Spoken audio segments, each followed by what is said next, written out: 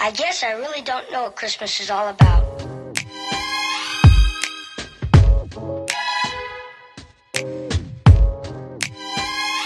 Isn't there anyone who knows what Christmas is all about?